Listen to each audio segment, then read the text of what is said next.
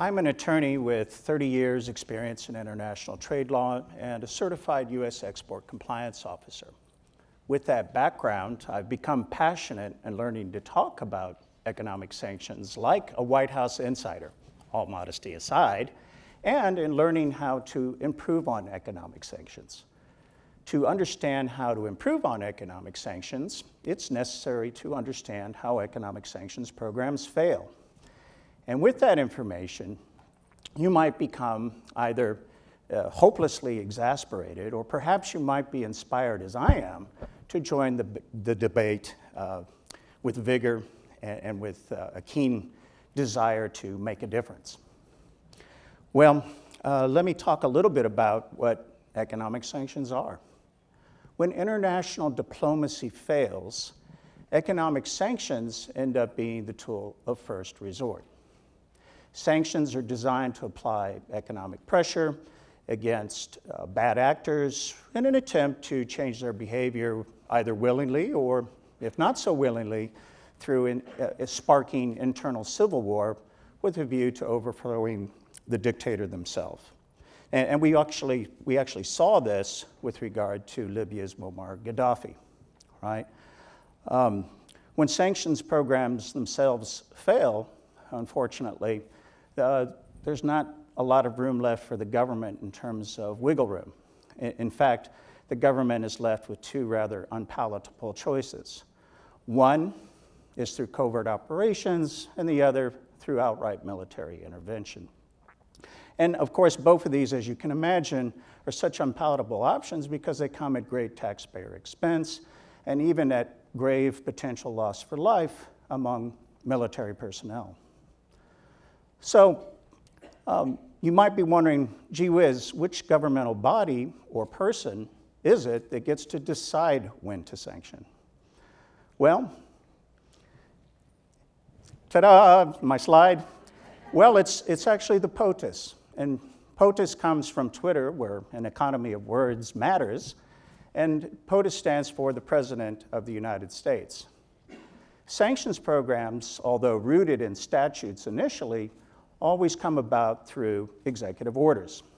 The president first, in consultation with intelligence agencies, has to declare a, a, a, national emergency.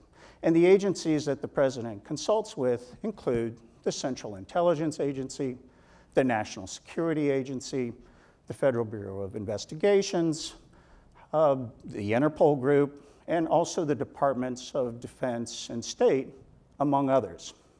And these national emergencies are heavy duty stuff, right? They Im- impact the United States' uh, national security, foreign policy, even the economic interests of the United States. Examples of those might be weapons of mass destruction, nuclear, chemical, biological warfare, and the systems to deliver the same, right? So, so missile proliferation is a big concern. Human rights abuses is a big concern. And now, here recently, even interference with democratic processes is, is a big concern. Well, uh, you might be wondering how is it that economic sanctions get enforced? Well, there is a, an office called the uh, U.S. Department of Treasury's Office of Foreign Asset Control. This is a very powerful office, not well staffed, not well funded, mind you, but they have the ability to shut out parties from the US financial system, as well as to freeze assets. The other way that sanctions are enforced might be, say, through seizures and forfeitures, even penalties, criminal penalties included, imprisonment, through the Department of Commerce's Bureau of of Industry and Security and Office of Export Enforcement. My goodness, that is a mouthful. it's no wonder it's so tough to get things done in the government these days, you know? Um, but I would say perhaps the weapon of choice that the government pulls out of its war chest is indeed from the Office of Foreign Asset Controls, OFAC. I used to work for a maritime services company, and a big, tall Norwegian one time yelled out, OFAC with the A turned to a U. you get the picture. This is so such a powerful tool that even last week, when the Trump administration withdrew the United States, this was actually just a week ago, May the 8th, 2018, from the Iran nuclear deal, there was already talk about barring certain European companies, right, that were remaining in the deal from doing business in Iran. Well, how do they do that? They potentially bar those companies from the US financial system. Because you see, even the Norwegians, this Norwegian maritime service company, needed the US reserve US dollar currency as their functional currency for doing international business. Super powerful tool. Please remember OFAC, spelled correctly, please. um, you might be wondering what uh, form that these economic sanctions take. There, there are actually two chief forms. Uh, one is through embargoes, and for our folks from Kenya, you probably are familiar with your neighbor Sudan, who have been in and out of embargo status uh, for a while now. Uh, but typically, that means a total trading block that's imposed against an entire country, and those are represented here in red, as opposed to more rifle style targeted sanctions that come in the form of blacklist designations. Those are represented by the other countries that are in color, excluding the United States. I will give examples of each. So, for embargoes, perhaps the, the best modern day examples of those are North Korea and Syria. Both of those embargoes, unfortunately, have resulted in a tragic loss of life as well as tremendous suffering among civilians. Uh, indeed, the ongoing Syrian refugee crisis is most disheartening and, and frankly gut wrenching. The Syrian embargo itself, uh, one could say, is, hasn't been very successful. Why? Well, it was necessary just last month, April 2018, for the US and its allies to bombard Bashar al Assad's chemical weapons capability. And that's how I judge the successfulness of a sanctions program. Was it necessary for covert operations or outright, outright military intervention? And unfortunately, there, it has been necessary. The, uh, the other way that sanctions come about is through targeted sanctions. And we've seen that here recently since 2016 with respect to North Korea. There were secondary sanctions imposed against certain Chinese trading companies and banks that were supporting the North Korean elite. And indeed, those sanctions, I think, have been successful, right? We're now seeing that Kim Jong un is prepared to come to the table and visit with our President Trump next month, June 12, 2018, in Singapore. Maybe we'll see some real uh, progress be made there. Who knows? Uh, you might also recall back in 2014 when Russia invaded eastern Ukraine and also annexed the Crimean Peninsula, that sectoral sanctions were imposed in that case. These were targeted against Russia's finance, defense, and oil and gas industries. And those sanctions have been somewhat effective in placing pressure on Putin's oligarch friends, but frankly, loopholes remain. So you might be wondering are sanctions programs routinely followed throughout the world, right? If the United Nations enacts it and proclaims it, as it routinely followed? Well, regrettably, the answer is no.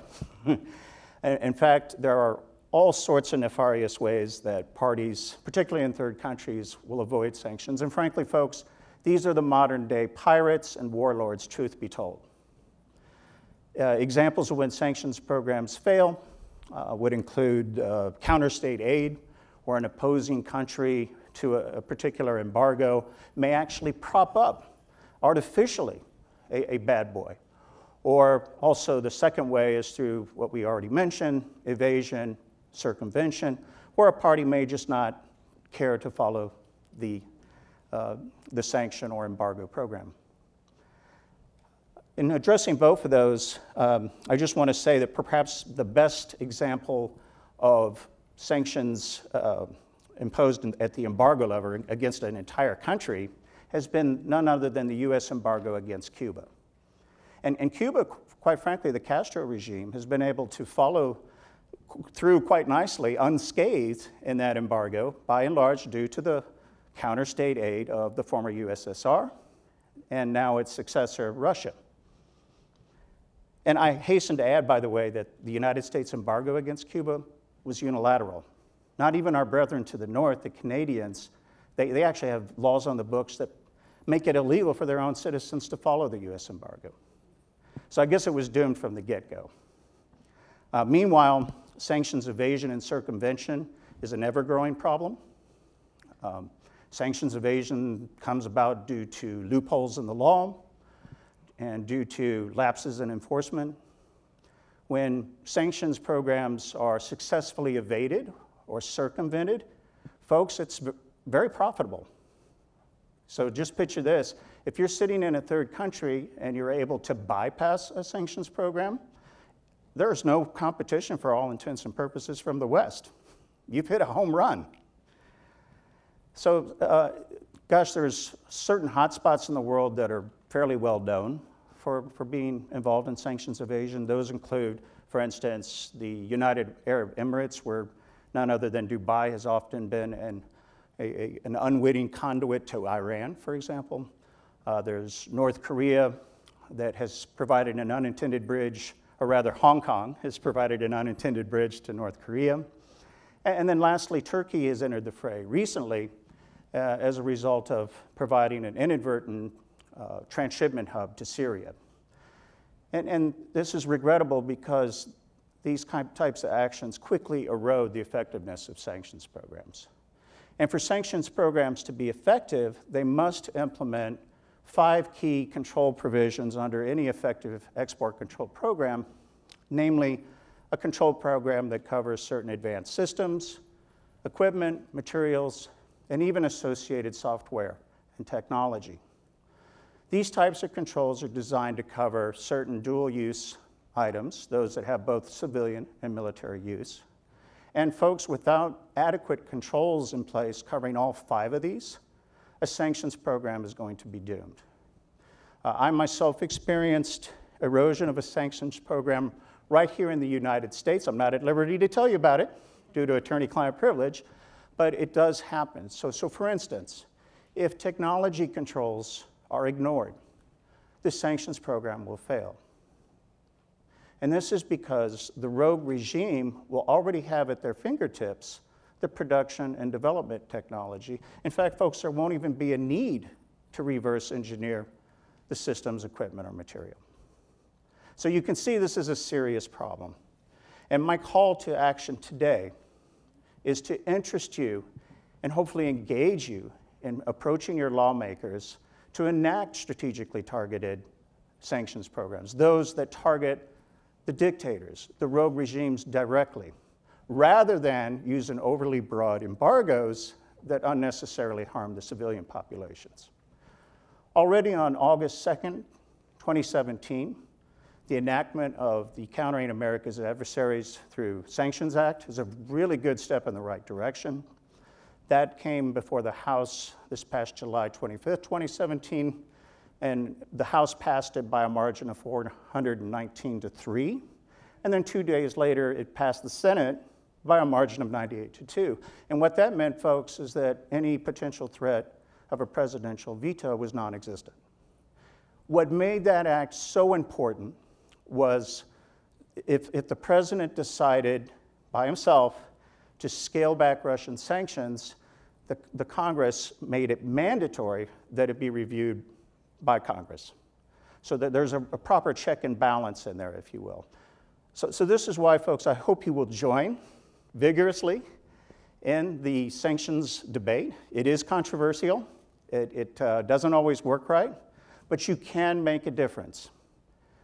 Indeed, preservation of human rights and world peace depend on it. Thank you very much.